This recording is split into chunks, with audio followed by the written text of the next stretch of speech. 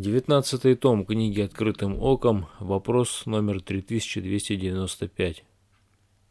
Тема «Община». Каковы ваши впечатления после прочтения диссертации отца Нафанаила о вашей общине? Отвечает Игнатий Тихонович Лапкин. Когда Сталину доложили, что Гитлер покончил жизнь самоубийством, тот ответил якобы двумя словами «доигрался, подлец».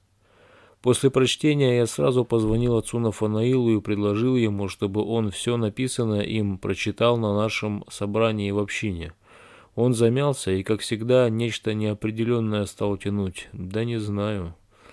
Я предложение свое повторил и несколько раз, и, наконец, он отозвался чуть пояснее. Подумаю. Я ему сказал, что беру этот материал для, кни для книги. Похоже, он никак этого не ожидал и стал говорить о недоработке текста. Я спросил, может, есть лучший вариант? Нет. Тогда беру этот и дам комментарии.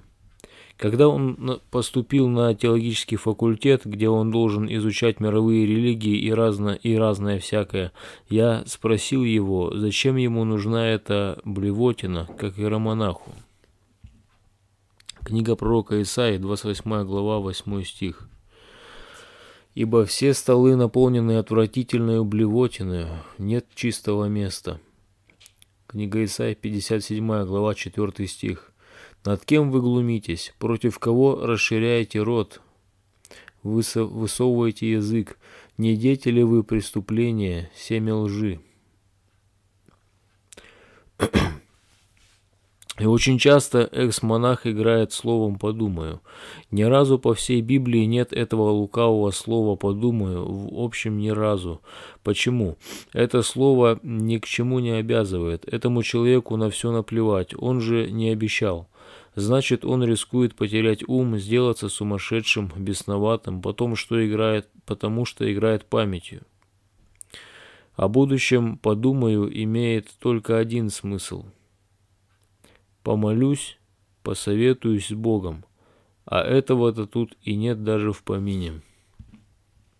Написать можно о виденном, слышанном в течение нескольких лет только тогда, если все регулярно записывать, вести дневник. Я ни разу не видел, чтобы он открыто записывал, хотя я к тому его побуждал не раз. Он жил со мной, спал на верхней плацка... на плацкарте, палатях а я внизу. Там так хорошо было. нам так хорошо было. Более всего я допекал его ранним вставанием.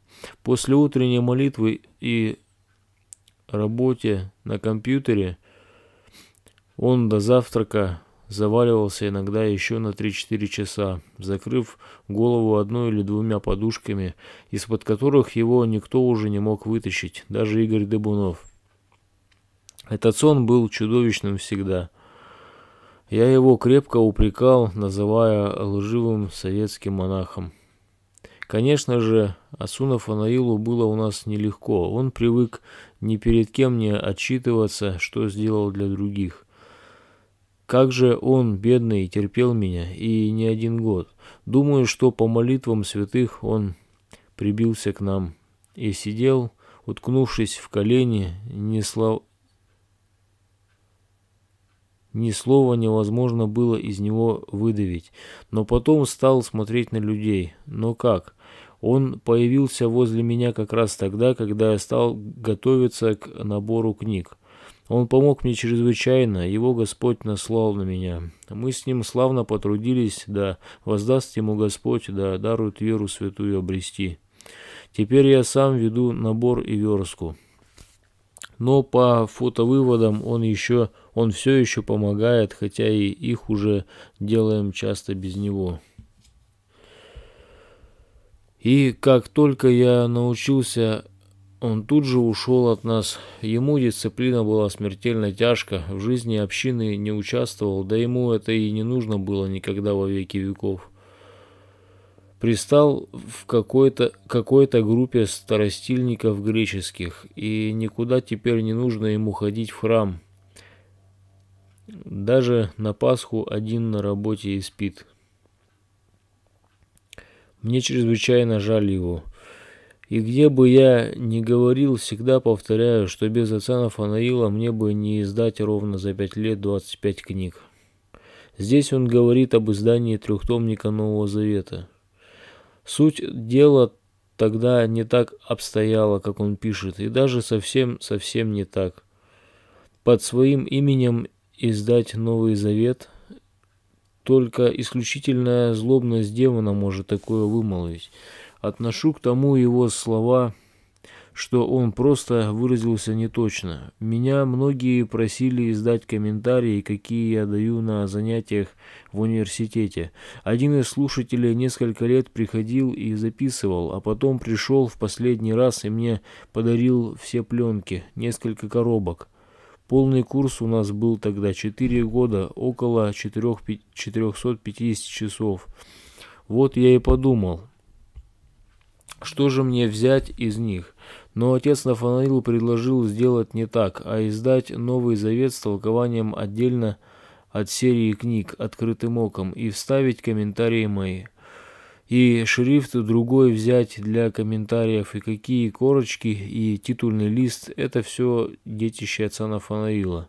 Я имел свое мнение, но посоветовался с директором типографии полиграфист, полиграфист – с друзьями и признал версию Иеромонаха лучшей, в чем и не раскаиваюсь до ныне. Он припомнил мне, что я просил сбавить цену за книги, так и было, потому что начисляли НДС 21%, а могли и без него. Выходит, что все эти годы он был не только не со мной духовно, но и собирал такой компромат столько лет на меня. Зачем? Он не припомнил ни одного доброго слова моего, ни одного доброго дела, хотя и пил, и ел здесь, в Потеряевке, и в Потеряевке. И трудился-то на компьютере разве для меня, и прописан по сей день он у меня. Сожрала его и веру его самость, и гор...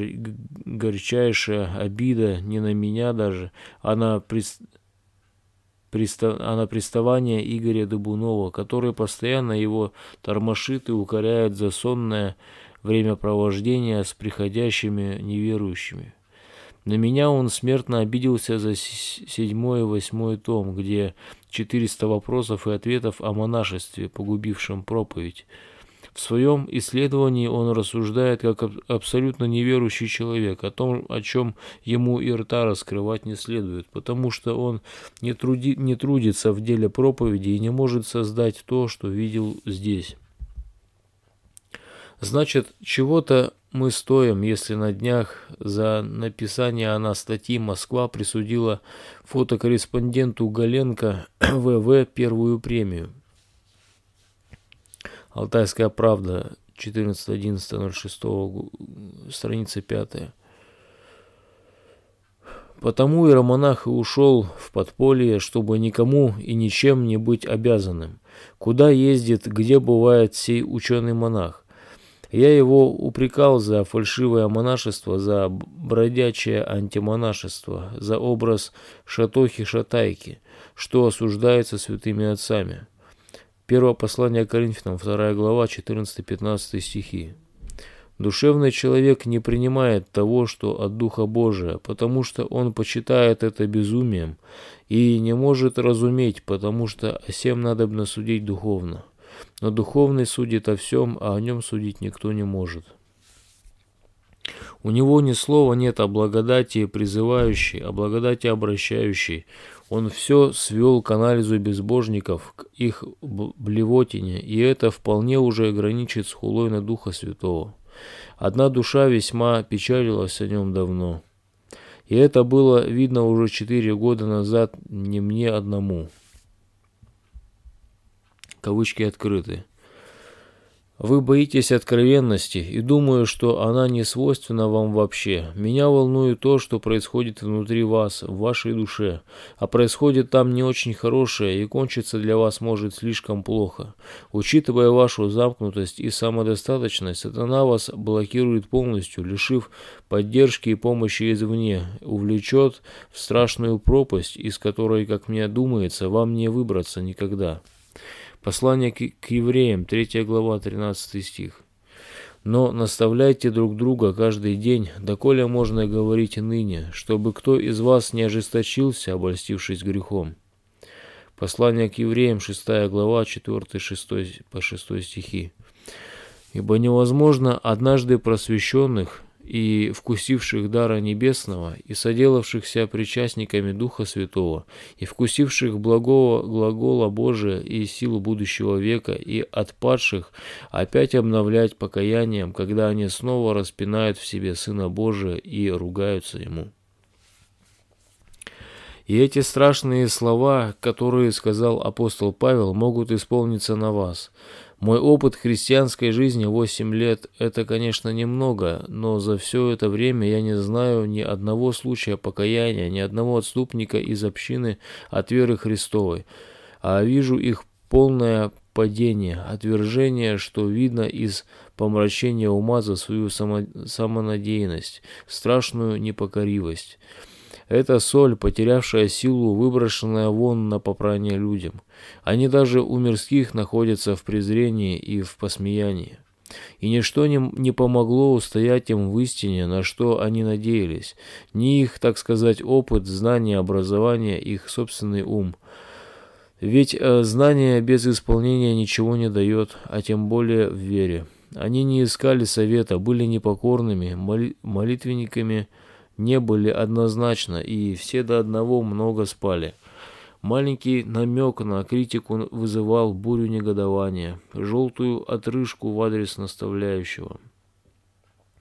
Все до, все до одного судили за глаза, так как внутри это вместиться не может. Таков общий закон. Затем начинали обрызгать своей грязью в лицо тому, тому кому они многим обязаны пенясь с рамотами своими, и на этих волнах выметались вон. У всех все было трафаретно в деградации, так как учитель-то у всех один, он для них и являлся единственным наставником, сатана. Человек, соприкоснувшийся с истиной, прежним остаться никак не может, это общий закон. Мало того, человек, упавший, начинает винить в своем падении того, кто пытается ему помочь, злобить на него в своих пороках, винит другого, считая, что до общения с этим человеком он был лучше, а не понимает, что что-то, что в нем проявляется, что то, что в нем проявляется, это его собственное природ, природное. Просто в свете этого человека ты вдруг увидел, что ты грязный поросенок, кукла деревянная. Эти люди всегда себя считают ущемленными, обиженными. За этой страшной гранью уже нет покаяния. Сатана к нему не допускает, он полностью уступает свои права. Самое страшное – это внутреннее переживание таких людей. Уже при жизни они в аду, так как окружающая жизнь их не радует. Они зациклены на себе и из этого заколдованного круга выбраться не могут, так как он их сделал глупыми и слепыми. Я вижу, вам это я пишу вам это в надежде, что вы только подошли к этой грани, но еще не переступили ее. Я сама не раз подходила к ней. Подойти к ней очень легко, отойти от нее очень трудно и самому без Бога невозможно. Сознание настолько опутано паутиной амбиций, что только я становилась на колени, начинала плакать, моля Бога о помощи и пощаде, как дьявол начинал биться, производя в душе страшную бурю. Это настоящий ад. Все до, все до одного из отступников трясут своей любовью к Иисусу а пожившие с ними рядом, понимая, что ни Иисуса они не любят, ни ближнего своего. Им на ближних вообще наплевать, и самое интересное, у нас все сводится на Игнатия Тихоновича. Но не в его ветхой платяжке дело, а в том, что он говорит и как бьется за каждую душу. Если вас сатана поймал на нем, а мне думается, что это так и есть, то мне вас искренне жаль. Сперва начни жить, как он, и делать, как он, а потом лепи для него ермо. А до тех пор он вам недоступен, равно как и всем другим. Бог вас наделил очень многим, как внешним, так и внутренним, и чем больше вы имели, тем ниже вы падете, и каждая собака будет норовить вас укусить, так как для многих вы были укором. Душа моя за вас болит. Думаю, что сейчас вы подходите к ступени ожесточения, а затем и бегства. Только не подумайте, что это я вам накатала под диктовку Игнатия Тихоновича. Изменения в вас я заметила сразу, как вы только переступили порог в тот самый день, когда я переех... приехала из Потеряевки. Вы даже внешне изменились. На вашем лице лежала печать, как у Саши Дмухи. А зачем все внешние проявления стали подтверждать а затем все внешние проявления стали подтверждать это. Мне хотелось затеять с вами разговор, но, подумав, решила, что сама к этому не готова, да и вы не открыты, вероятно, боитесь меня. С первых моих слов э, вы бы замкнулись и все. Радует вас то, что у вас есть глубокий самоанализ. А страшно то, что многое понимаете, да мало что делаете, и это до поры до времени. Меня в вас всегда шокировало ваше ужасное безразличие к окружающему чудовищная лень. Из этих двух страшных качеств четко вырисовывается ваш характер, да и последующая жизнь. Отчего вы не дадите хода вашей лучшей стороне души? Почему вы так беспечно относитесь к своей жизни? В нашей власти настоящее, и этим настоящим мы обеспечиваем свое будущее. Ведь вы не можете этого не понимать. И думаю, что не в монашестве тут дело, ведь вы можете быть другим, если захотите. Лично я в это верю. Тем более нам есть ради чего стараться в этой жизни. Даже человеку, которому вы неравнодушны, вы не кинетесь помогать, напроситься что-то сделать. Думаю, что если вы бы не были монахом и были женаты, у вас бы была ужасная семейная жизнь. Жаль того, кто э, бы жил с вами. И те страдания, которые бы вы причинили ему, вас бы нисколько не вдохновляли на исправление, а наоборот ожесточили. Вы бы молча ушли, как тот алкоголик из Потеряевки, и все. Вы не терпите критики в свой адрес. Одна надежда, что от меня что-нибудь примете.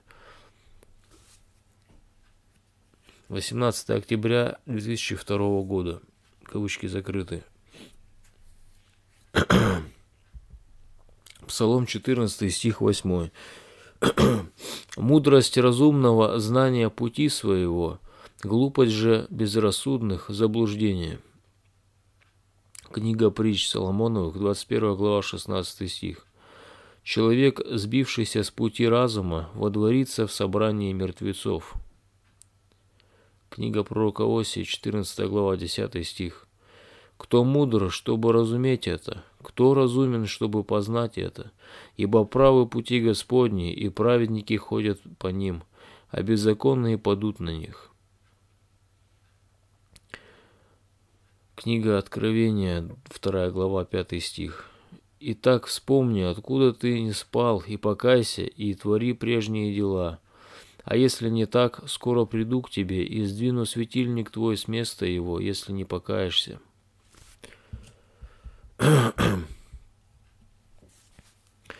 Я по-прежнему так и держу постель его наготове, и о том звоню иеромонаху, что его место не занято, может ночевать здесь. А караван идет своей дорогой, и все еще не вечер. Упомянул отца Нафанаил, отец Нафанаил о запрете быть в политике политических партиях. Таковых я и не знал ни одного, кроме его самого. До встречи со мной он был духовником черной чертовой сотни лютых антисемитов. И если от этой красоты освободил тебя Господь, так почему бы так и не сказать и если от этой коросты освободил тебя Господь, так почему бы так и не сказать, а наплутовать о запретах участия в политических партиях. Освободился от поганой смерти от рук евреев, быть может. Здесь у меня состоялся разговор с иеромонахом Нафанаилом, духовником местного отделения Черной Сотни, пишет игумен Кирилл Сахаров из Москвы. Для Слова Божия нету, страница 418.